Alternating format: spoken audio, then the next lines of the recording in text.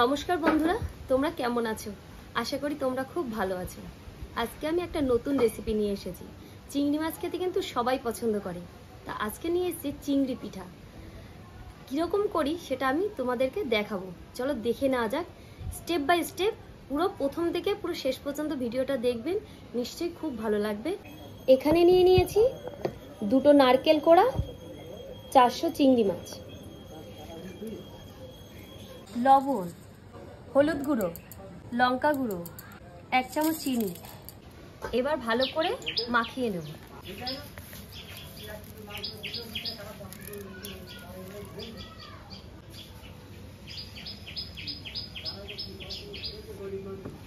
এই চিংড়ি পিঠা কিন্তু শিলনোড়ায় বাটলেই বেশি ভালো হয়। টেস্টটাও ভালো হয়। এবার ভালো করে মিহি করে বেটে নেব। এখানে দুই থেকে তিন বাটা দিতে হবে। তারপরে চিংড়ি পিঠা কিন্তু ভালো লাগবে। একদম মিহি, যত মিহি হবে, তত খেতে স্বাদ হয়। বন্ধুরা, এখানে কিন্তু জল ইউজ করতে হবে। জল দিয়ে দিয়ে তারপর বাটতে হবে। একদম মিহি কিন্তু বাটতে হবে, নাহলে কিন্তু টেস্ট একদম ভালো হবে না। এখানে আমার এক বাটা হয়ে গেছে, আমার দু বাটায় কমপ্লিট হয়ে যায়। এই যে এখানে আমি এক বাটা দিয়ে নিয়েছি। আর এক বাটা দিচ্ছি, একটু কিন্তু জল নিতে হবে আর বাটতে হবে। বেশি জল নিলে কিন্তু হবে না। অল্প অল্প জল দিয়ে দিয়ে বাটতে হবে।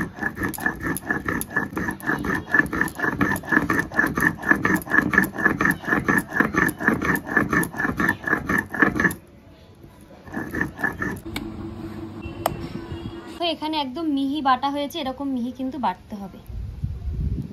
বাটাটা কমপ্লিট এবার সরিষার তেল দিয়ে দেবো।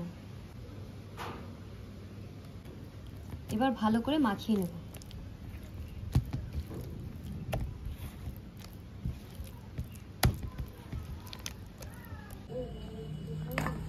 এবার পাতায় তেল দিয়ে দেবো অল্প একটু, দিয়ে ভালো করে চারিপাশে মাখিয়ে নেব।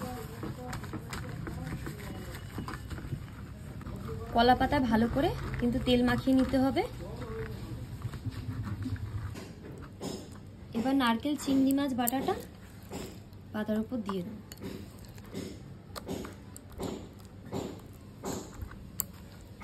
দিয়ে এরকম চারিপাশে সমান করে, সুন্দর করে দিতে হবে। গোল করে। এটা কিন্তু এইবার কড়াইতে দিয়ে দেবো। আপনারা চাইলে চাটুতেও দিতে পারেন। যে কোনো একটাতে দিলেই হয়ে যাবে।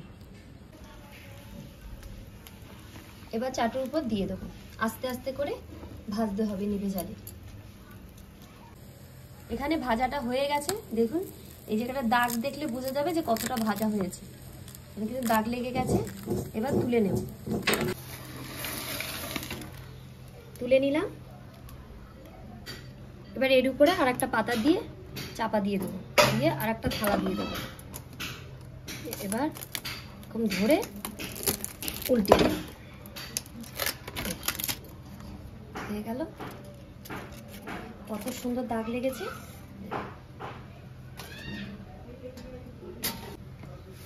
এবার আবার এটা দিয়ে দেবো। এবার নিচ ভালো করে হবে। আবার একটু ঢাকা দিয়ে দেবো। আবার নিচে নিভে জালে আস্তে আস্তে করে ভাজতে হবে। আর এক পিঠও ভাজা হয়ে গেছে। এবার তুলে নেব। এবার পিস করে নেব।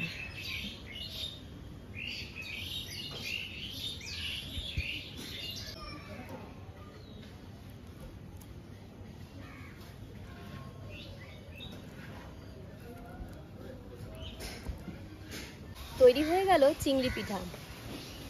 স্বাদে, গন্ধে ভরপুর। গরম গরম ভাত যদি হয় আর একটা করে চিংড়ি পিঠা, তাহলে জমে যাবে।